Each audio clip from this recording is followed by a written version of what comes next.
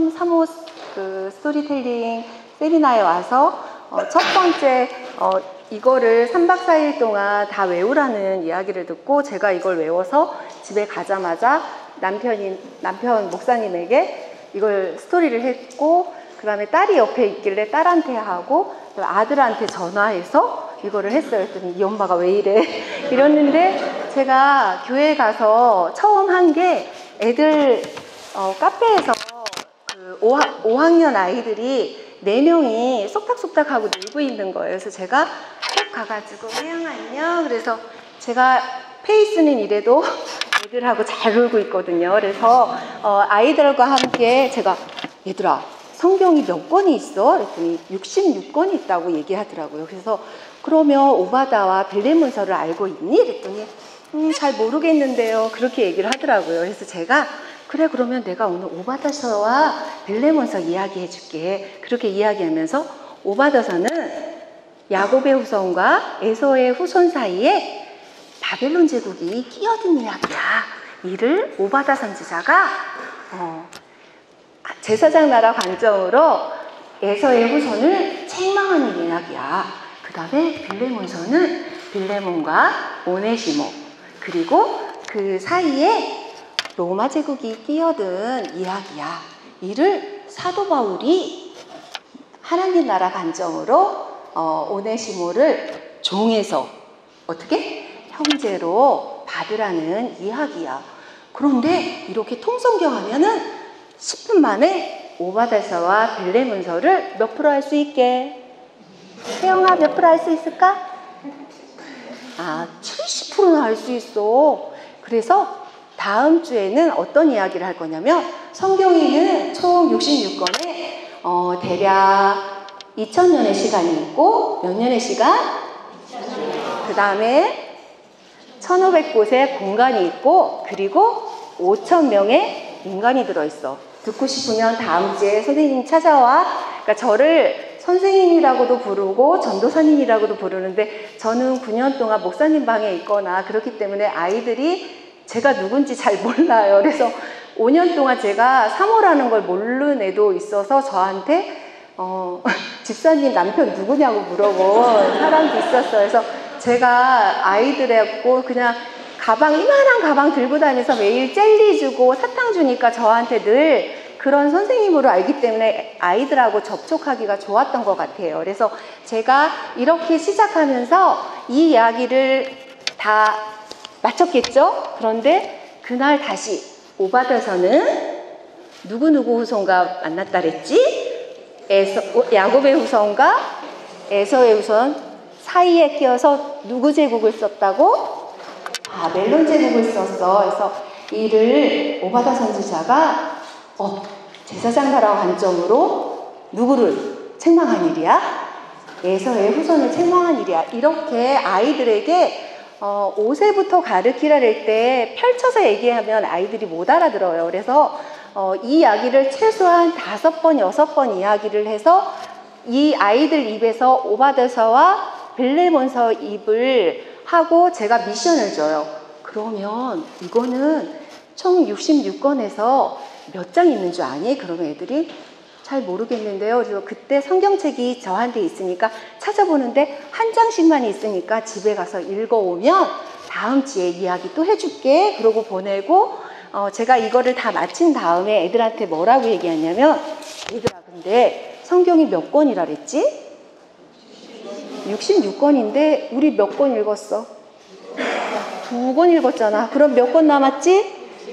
64권이 남았어.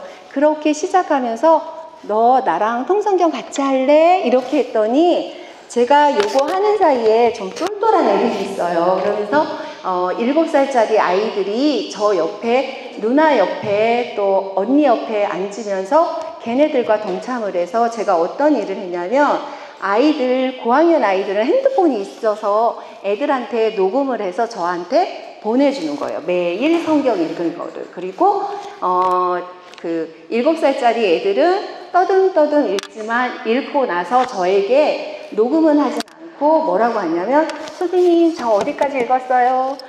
어제도 와서 저 사사기 읽고 있어요. 또 와서 눕기 읽고 있어요. 이렇게 저한테 와서 이야기를 해요. 제가 걔네들한테 얘기하라고 얘기는 하진 않았는데 애들이 자랑하고 싶은 거예요. 그래서 제가 오늘 이야기는 첫 3호 스토리텔링을 통해서 애들한테 스토리텔링 한 거랑 그리고 핫한 거, 따끈따끈. 어제 아이들하고 이렇게 논 이야기 스토리텔링을 하려고 하는데 제가 1년 동안 아이들하고 한 거를 길면 안 보실까봐 2분으로 만들었습니다. 잠깐 보시겠습니다.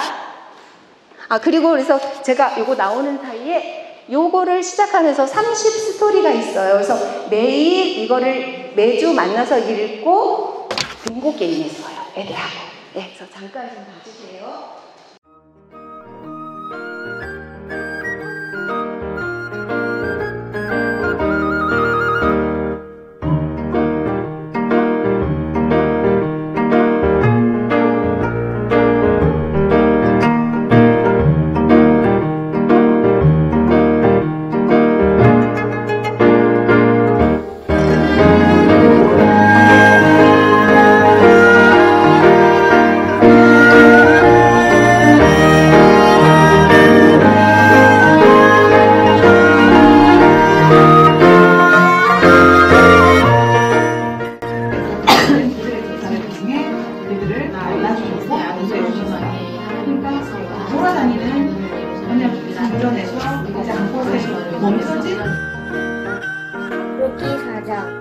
보아스가 성문으로 올라가서 거기 앉아 있더니 마침 보아스가 말하던 귀여운 물을 차가 지나가는지라 보아스가 그에게 이르되 아무기여 이리로 와서 앉으라 하니 엄마 따라해보자.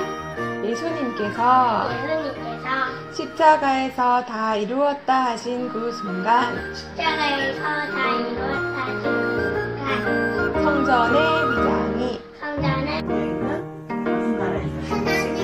나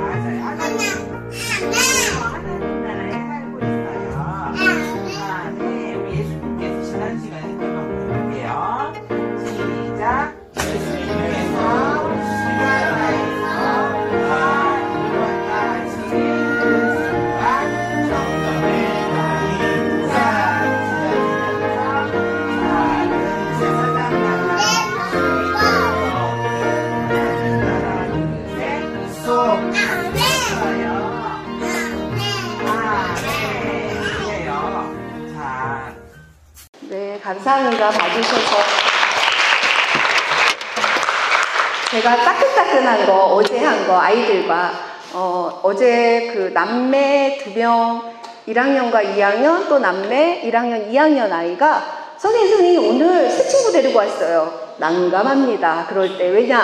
얘네들은 1년 동안 저랑 많이, 맨날 놀았기 때문에 제사장 나라, 제국이야, 뭐 5대 제국 하면 그리고 징계가 1차, 2차, 그러니까 첫 번째, 두 번째, 세 번째 하면 그냥 이렇게 얘기하는 애들인데 난감하지만 그래도 그냥 애들이니까 그냥 제가 했어요. 그래서 그 친구가 있어가지고 제가 어, 새 친구 왔네? 그래서 어, 금수가 오랜만이야? 어, 잘 왔어. 그러면서 제가 어, 성경에는 모든 민족을 구원하시기 원하시는 하나님의 꿈이 있어. 거기에는 제사장 나라와 그리고 하나님 나라 이야기가 담긴 거야. 근데 이 모든 이야기 중에 이야기가 어떻게 된 거냐면 예수님께서 십자가에서 다 이루었다 하신 그 순간 성전의 휘장이 쫙 찢어지면서 작은 제사장 나라가 더 큰 하나님 나라 그릇에 어떻게 됐을까? 쏙 담긴 이야기야 라고 했어요. 처음에 못 알아들어요. 그렇지만 이 얘기를 집에 갈 때까지 열 번을 했기 때문에 애가 처음에는 이러고 있다가 나중에 다 따라하더라고요. 그래서 엘리베이터 앞에서도 이 얘기를 자기가 안다고. 그래서 애들한테는 반복적으로 해줘야 자기가 성경에 대해서 잘 안다고 생각하기 때문에 아주 좋아해요. 그래서 오늘은 성경에는 전체 몇 가지 분위기가 있을까? 그렇지. 아는 친구들은 일곱 가지 분위기가 있다고 해요. 그래서 그럼 일곱 가지 분위기를 우리 한번 해볼까? 아는 친구들 먼저 해볼까? 모세오경, 왕정, 오백년, 페르시아, 칠권, 사복음서, 그 다음에 사도행전 30년, 공동손실 9건, 주간사 사대요. 이렇게 이야기를 해주면서 제가 아이들에게 이거를 5분 정도 가지고 놀으라래요. 그래서 모세오경 제가 시범해 볼게요. 모세오경 이제 모르는 친구 읽으라고 해요. 읽어보세요. 모르는 저기 처음 나온 금수기 친구 다 같이 읽어주세요. 왕정 500년, 사 400년, 서 사도행전 30년, 아홉 거. 그런데 저는 만들 때 이렇게만 만든 게 아니고 여기 안에도 뒤도 다 했기 때문에 애들이 엎어서도 컵쌓기 요즘 애들 많이 하잖아요. 그렇게도 하는데 어 분위기가 몇 가지가 있다고 얘들아? 일곱 가지 분위기지. 그럼 다시 한번 해볼까?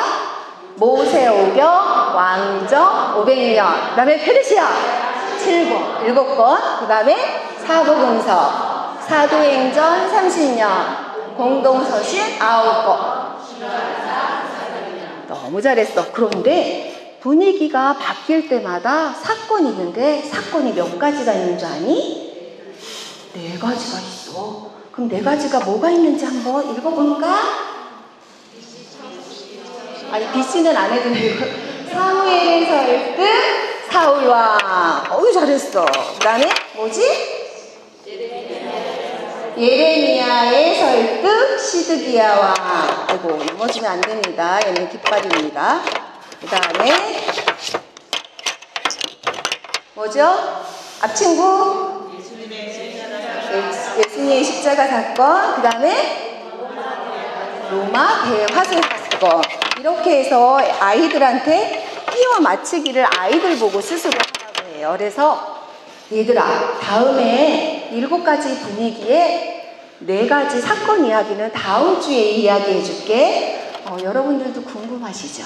네, 그러면 어, 9월 23일에 38기 렉처러 과정에 오시면 조 박사님 강의를 통해서 정말 풍성한 강의를 들으시고 은혜도 듬뿍 가지실 거예요. 감사합니다.